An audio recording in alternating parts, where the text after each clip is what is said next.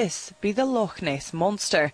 This footage was taken at the weekend by an amateur scientist who happened to spot a fast-moving creature swimming across the world-famous loch, an event he luckily captured on film.